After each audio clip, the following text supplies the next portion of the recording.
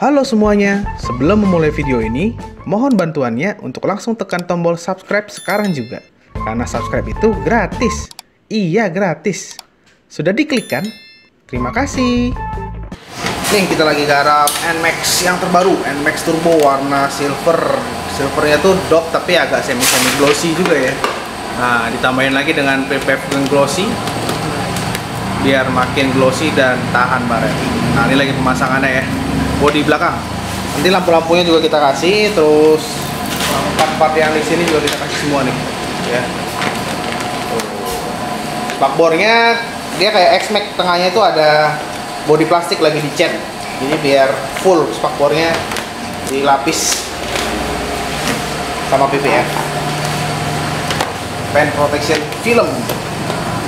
Yang sebelahnya udah kepasang ya. Nah ini sebelahnya ini tinggal finishing aja jadi glossy banget ya.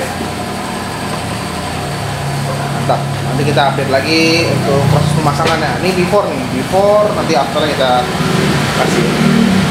Ya nah ini dia. NMAX Turbo yang pertama kali kita PPF yang datang langsung dari dealer.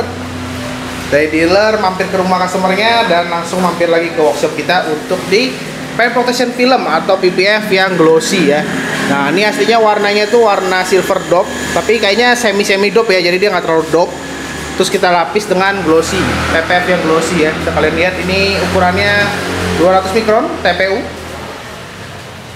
nah kalian lagi lihat lagi karena dia ini yang baru ini NMAX itu modelnya kayak X-Max ya. Spakbor depan ini aslinya tuh ada plastik bodi kasar. Jadi nggak bisa ditempel PPF biar bisa dikasih PPF kita bantu dicetin kita pernis juga. Baru bisa ditempel PPF ya. Tuh jadi keyboard halus dia. Sampai ke belakang-belakangnya juga. Aslinya kan kayak X-Max cuman kiri kanan doang ini body kasar. Tapi karena customer minta dibikin PPF juga biar lebih bagus kita bantu repainin ya. Untuk bagian depannya ini semua kita cover termasuk lampunya windshieldnya ya. Jadi windshield ini manfaatnya biar nggak gampang baret. Karena kalau udah hitamnya udah baret dia jelek. Terus kalau ada baret dia akan hilang lagi kena panas matahari. Jadi keren ya. Uh. semuanya udah cover nah ini juga nih yang di kaki yang gampang baret warna hitam ini juga udah cover di sini speedometer. Terus ini juga nih kita kasih ya cover speedometernya terus ini bagian tengah sini sampai ke bagian tangkinya. Bodi belakang tentunya. Nah ini juga behel yang tadinya warnanya dop jadi glossy karena ini rentan baret banget. Lampu belakang juga kita kasih. Sisanya bodinya kita nano ceramic coating ya, biar warnanya tetap hitam dan mudah membersihkan kotorannya. Bagi kalian yang mau nanya-nanya sekitaran PPF bisa langsung kontak kita ya, nomornya ada di bagian deskripsi atau ada di sini. Nah, keren nih, ganteng.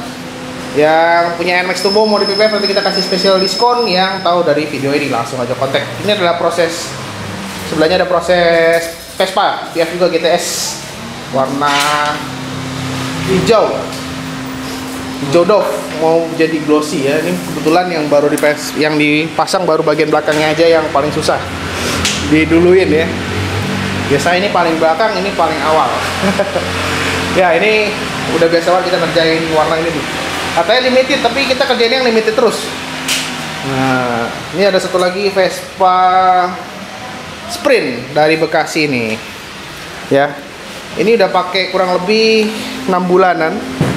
Ya ada lecet-lecet dikit kita bantu ganti. Jadi kalau ada lecet tuh gantinya tuh per panel aja. Kita kasih bantu ganti jasanya gratis hanya bayar bahannya aja ya. Bisa dilihat ya masih mulus. Mulus. Jadi garansinya itu garansi pemasangan kalau ada yang ngangkat ada yang rusak kita kasih garansi setahun. Bodi belakangnya juga nih ya tercover semuanya dengan baik. Karena Vespa ini kan warnanya ngentrik-ngentrik. Kalau ada yang lecet sayang ya.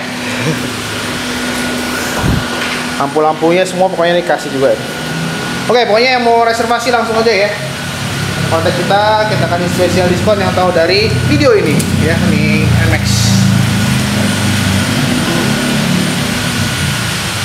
Oke, sekian dulu videonya. Terima kasih yang sudah nonton video ini dari awal sampai akhir. Mohon maaf ya salah kata. Jangan lupa bantu subscribe, like, komen, dan share. Sampai jumpa di video berikutnya. Salam kinclong.